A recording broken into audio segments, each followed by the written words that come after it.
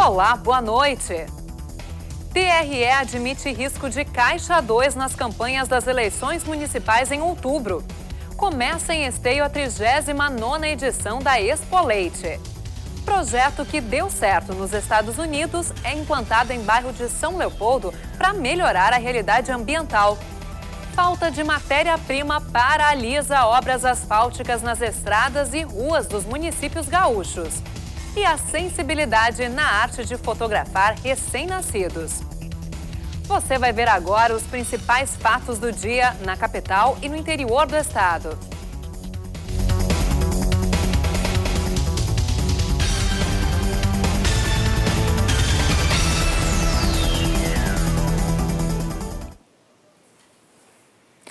Com o fim das doações por empresas, a Justiça Eleitoral do Rio Grande do Sul prevê dificuldades para controlar as contas das campanhas municipais deste ano.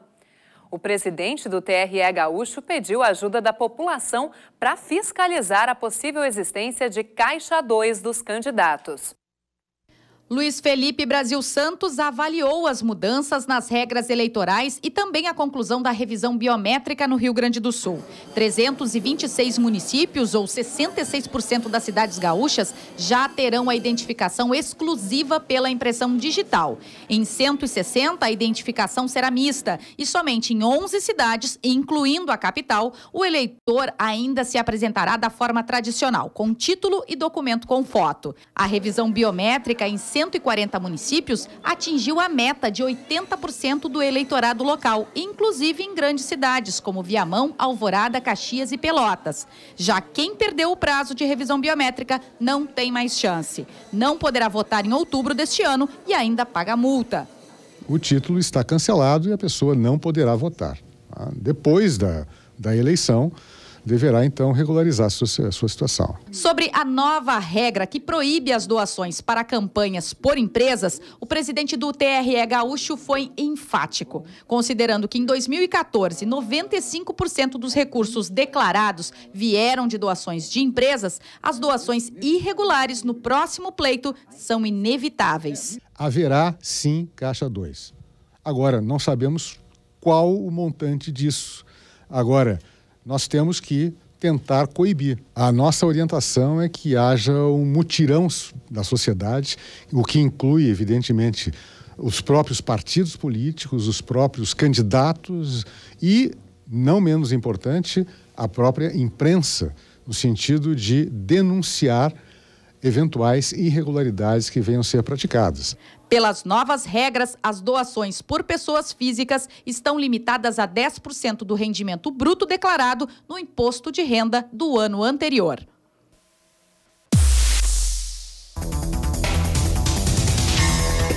No último dia de licença saúde, o deputado Mário Jardel apresentou um novo atestado para mais 60 dias de afastamento. O diagnóstico é de depressão.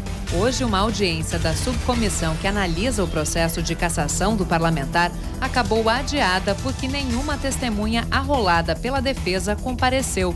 Jardel é acusado de integrar uma organização criminosa que falsificava diárias, mantinha funcionários fantasmas e exigia o repasse de parte dos salários de assessores. O relatório sobre o caso deve ser apresentado até o dia 10 de junho. Começou hoje a 39ª edição da Expo Leite, considerada a maior mostra de outono do agronegócio gaúcho. Este é o segundo ano consecutivo que a raça Jersey não participa da feira. A expectativa dos organizadores é comercializar um milhão de reais, valor inferior ao registrado em 2015. Mesmo assim, a crise não desanima os expositores. Eles esperam bons negócios com a venda de animais durante o evento, que vai até domingo no Parque de Exposições Assis Brasil, em Esteio. O tamanho do ubre dessa vaca representa o potencial da produção leiteira gaúcha, a segunda maior do país, com 12 milhões de litros de leite produzidos por dia. A Expo Leite é uma vitrine desse setor, gerando a oportunidade de negócios e a troca de conhecimentos. Temos uma, estrutura boa, vai sair um, um, julgamento muito bem, porque tem uma, uma outra estrutura de, de pista, toda ela coberta. E o leilão vai ser um destaque hoje, eu acho que com certeza. Uma programação composta por atividades como palestra, leilões e feiras contribuem para atrair investimentos e novos participantes. Entre as principais atrações da Expo Inter está o tradicional concurso leiteiro da raça holandesa. São 24 animais inscritos e a participação de sete expositores. A vaca vencedora será conhecida na tarde desta quinta-feira. Mas para que uma vaca produza leite em quantidade e com qualidade, uma série de fatores é considerada. Em primeiro lugar, eu acho o potencial genético, um animal uh, que tem um excelente potencial genético, uh, que tenha um ambiente adequado, que se alimente bem, uh, depende também do estágio da sua lactação, da própria época do ano para poder expressar o seu, esse seu potencial genético. Nesta edição estão inscritos 130 animais da raça holandesa e 30 gir e girolando. A novidade deste ano é a retomada da parceria com a Associação Brasileira de Criadores de Cavalos Crioulos, que fará uma classificatória do freio de ouro durante a exposição.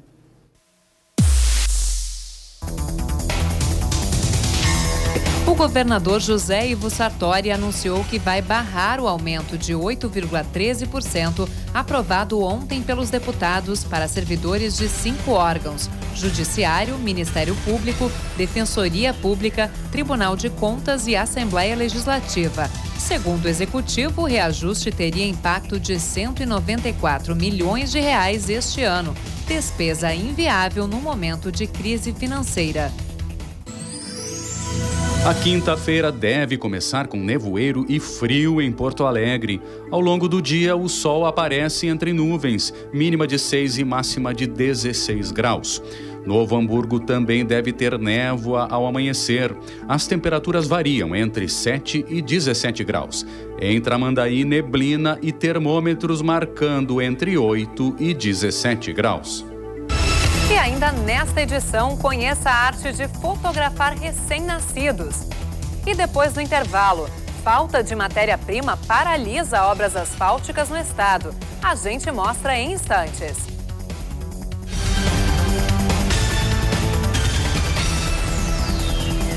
As empresas terceirizadas contratadas pelo governo estadual para dar conta do serviço também estão sendo afetadas. 40% desses contratos dependem, são, são os materiais asfálticos. Então, a falta desse material, as empresas começaram a não ter mais em estoque e estão diminuindo o ritmo ou até parando essas obras. De acordo com a Petrobras, condições climáticas adversas levaram à redução da produção de cimento asfáltico na Alberto Pasqualini.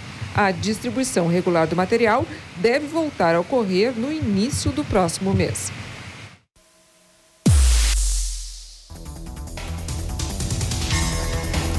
Rio Grande do Sul atinge meta de vacinação contra a gripe. O objetivo era imunizar 80% da população de risco. Agora, o desafio é aumentar a imunização de gestantes e crianças menores de 5 anos, que teve procura abaixo da meta.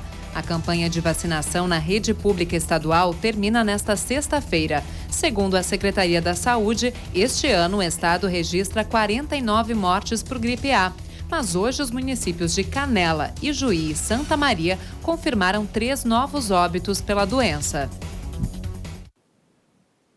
Novidades para facilitar a vida dos clientes de banco. Elas podem ser conferidas na nona edição do Fórum Internacional de Tecnologia da Informação do Banrisul. Os estandes com as novas descobertas são os que mais chamam a atenção. Um deles é o da computação perceptiva se o nome é complicado, a ideia é simples. Em vez de usar as teclas, basta movimentar a mão em frente ao computador. Agora imagine isso na hora de sacar dinheiro no banco. Ela simularia um toque natural, um gesto natural uh, humano, né? Uh, que é melhor do que tu clicar um botão. Isso aí facilitaria questões de acessibilidade e tudo mais. Um banco público como o Banrisul, ele se preocupa sim em levar para essa comunidade, para essa sociedade, a discussão dessas novas tecnologias. Mas não é só para os serviços bancários que o fórum está voltado. Dá para se divertir com os óculos de realidade virtual. Atrás de mim tem um, uma sacada, embaixo tem um avião e tem uns robôs e umas coisas Ou seja, não tem nada que ver com o lugar onde a gente está. Não, eu até não consigo, eu não sei nem onde é que tu tá, eu não consigo me coordenar muito bem. Tá totalmente dentro desse laboratório. É muito real. Na minha frente aqui tem uma TV. Já esta impressora em três dimensões faz até produtos que podem ser dobrados, como esse peixe aí. A empresa é a primeira do país e foi criada na incubadora tecnológica da PUC. Temos usuários tanto uh, em casa quanto grandes indústrias utilizando nossos equipamentos. Diversas áreas de, de atividade, tá? Uh, medicina, áreas médicas, engenharias, arquiteturas, um público em geral. O fórum está na nona edição e reúne cerca de 3 mil participantes.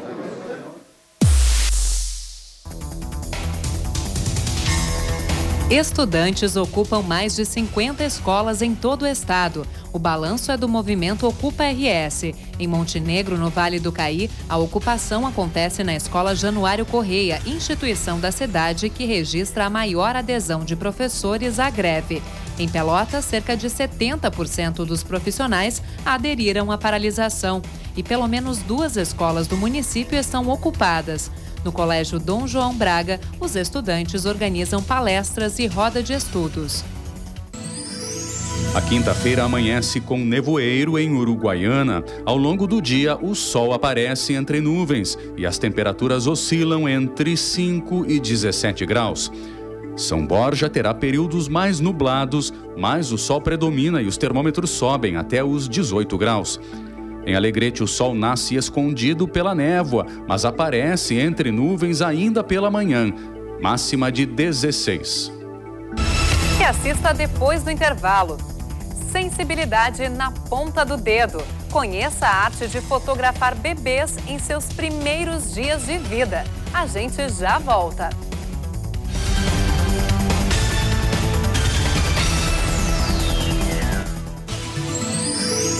Quinta-feira de céu claro em Santa Cruz do Sul. A nebulosidade pode aumentar à noite, mínima de 6 e máxima de 16 graus. Sol entre nuvens em Santa Maria, pode ventar forte, principalmente à noite. Os termômetros oscilam entre 6 e 15 graus. Em Cachoeira do Sul, o sol predomina durante o dia, mas à noite será nublada. A temperatura não passa dos 15 graus.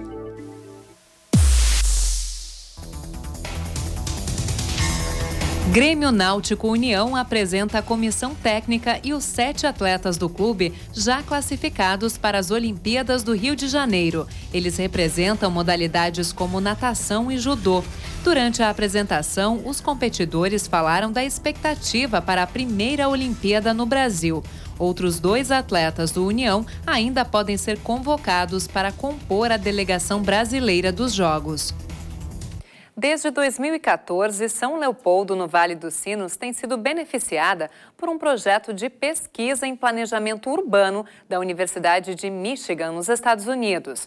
Norte-americanos e brasileiros trabalham em conjunto com um objetivo comum: melhorar a realidade ambiental da Vila Santa Marta. É o que você confere agora na reportagem da TV Fevale. Como tirar uma ideia de pesquisa do campo teórico e trazê-la para a prática?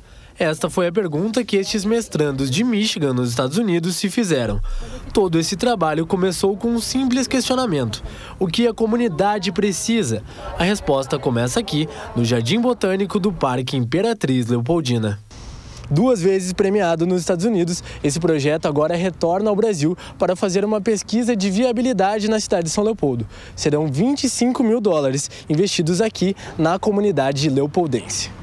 A cidade de São Leopoldo foi escolhida devido ao trabalho maravilhoso que as professoras da Escola Santa Marta, com o programa Convida, que é um programa de educação ambiental federal, em que eh, nesse programa Convida, os, a ideia de proteção ambiental é uma ideia em que uh, os estudantes ele aprende com o meio ambiente vivido. Então eles têm que entender o meio ambiente em que eles vivem, e não aquele meio ambiente eh, elitizado daquele parque nacional, não. São melhorias na questão ambiental mas que vão além. O reconhecimento, a, a, comunidade passa a, a, ser vista de outra maneira, porque ela era muito discriminada. A, a comunidade percebe o, o, potencial que ela tem para a mudança, para a transformação. Já os norte-americanos, responsáveis pela iniciativa, têm motivos de sobra para sonharem juntos com a comunidade. Eu estou muito feliz em voltar para São Leopoldo e Santa Marta para trabalhar com as pessoas e continuar desenvolvendo nossa relação com eles. Nós aprendemos muito aqui. Também estamos felizes em dar continuidade em um trabalho em que nós esperamos que de fato melhore essa comunidade. Bom, na cidade que eu vivo, em Detroit, há problemas parecidos, mas também coisas boas, como em Santa Marta. Existe um forte senso de comunidade, mas muitos problemas com violência, drogas, pobreza e desemprego. Então eu trouxe muitas experiências da minha cidade para Santa Marta e estou levando muito de Santa Marta de volta para a minha cidade.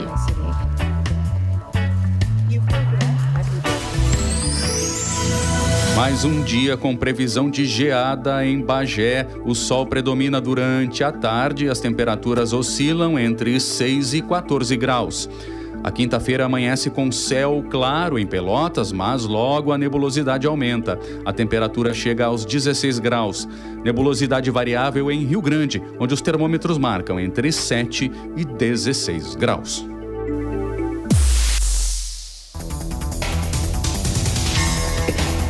Caminhada para pedir o fim dos manicômios. Nesta quarta-feira, pacientes e profissionais da Rede de Atenção Psicossocial de Porto Alegre foram às ruas para alertar sobre o tratamento desumano que seria típico dos manicômios. A manifestação marca o Dia Nacional da Luta Antimanicomial. Uma técnica fotográfica que encanta pela sensibilidade e pelo resultado. Profissionais da área no Brasil estão se aperfeiçoando em extrair as melhores poses e imagens dos recém-nascidos. Você já ouviu falar em fotos newborn? A TV Cachoeira foi conhecer os bastidores desse trabalho e revela agora alguns segredos de como fazer o melhor clique dos bebês. Um estilo muito conhecido em países como Estados Unidos, Inglaterra e Alemanha mas que tornaram-se populares no Brasil somente há cerca de três anos. Uma técnica fotográfica usada literalmente para fotos de bebês entre 5 e 15 dias. O período em que os pequenos, quando de barriga cheia, são mais relaxados, dormem mais profundamente e carregam naturalmente a tendência a posições fetais mas bebês de até 45 dias ainda se enquadram no padrão. Neste estúdio, encontramos uma mulher embalando um bebezinho. Não, ela não é a mãe da criança. É a fotógrafa Vanessa Soares, iniciando uma sessão newborn. Lara, de 11 dias, é a cliente da vez. Eu peguei ela segundinhos, deixei ela na posição fetal. Esse, esse, esse chacoalhar também, tem gente que chacoalha para outros lados, não é o balanço esse é o balanço que a mãe estava na barriga. Ou seja, ela estava sempre se balançando na vertical.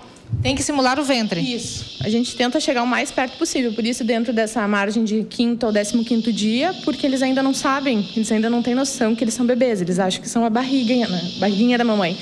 E tem até o barulhinho, né? A gente está ouvindo aqui é o baby shusher, é isso? Olha só, faz um shh da mamãe, típico da mamãe, né? É, isso aí... Uh diminuir a, esses outros ruídos que tem em volta da sessão, ou seja, a porta abrindo, o escritório funcionando, uh, vai dar uma reação que ela vai chamar atenção só para o barulhinho, né? Então ela vai se sentir sempre acolhida que ela está pertinho da mamãe. Além do som peculiar, o ambiente possui temperatura controlada, acessórios com cores suaves e iluminação suave também. Tudo que induz ao relaxamento dos pequeninos. A segurança e o conforto do bebezinho é a prioridade maior. Mas assim, uma das características do newborn é peladinho.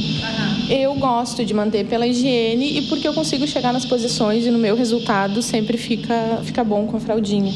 Às vezes, quando o bebê está super calminho, a gente vai até o peladinho e ainda faz, mas daí acontece acidentes e a gente sai. a Jana, a Thaís e eu, a gente sai carimbada. A Vanessa trabalha com fotografia há nove anos e, enquanto conversamos, ela me revela que os caminhos de uma boa foto de recém-nascido possuem mágicos segredos. O bebê no, no terceiro trimestre ele está virado de cabeça para baixo, ou seja, já pronto para nascer. O bumbum está para cima e a cabecinha está para baixo. Ele está nessa posição encolhidinho, virado para baixo. A palmadinha da mãe ritmada, ou seja, a nossa palmadinha agora aqui para acalmar, uh, nada mais é que o coração da mãe pulsando no bumbum dele. Mas antes de clicar, tem que arrumar o cabelo, colocar tiara e, com muita paciência, carinho e tranquilidade, estabilizar a pose da modelo. E aí sim, começar a clicar.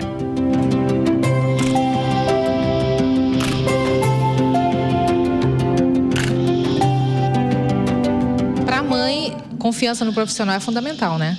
Com certeza. Ainda mais uh, eu trabalho com criança, assim, recém-nascido também, né? Então, a gente perceber que o profissional sabe o que está fazendo gera uma confiança toda uh, bem maior, assim, né? Pra gente poder entregar o bebê, assim, na mão delas, para elas poderem fazer o que quiser e as fotos ficarem boas. Muita fofura. Nós voltamos amanhã às sete da noite com novas informações. Agora você fica com um pouco do espetáculo Flor de Macambira, dos paraibanos do coletivo Sertão Teatro. Eles se apresentaram esta tarde no pátio da usina do gasômetro aqui na capital. A atividade fez parte da programação do Festival Palco Giratório do SESC, que vai até o dia 25 de maio. Uma boa noite para você e até amanhã. Licença pra praça abraçar. Trago alegria, a nossa história. É o sertão que acaba de chegar. É o boi, é o boi. É o boi, é que na vida peleja. Trago na mala a vereda e a praça. Prepare a praça que o boi vai passar. É o boi, é o boi. Boi do Brasil está aqui, cavalo manso, cavalo marinho, tem que vem chegando.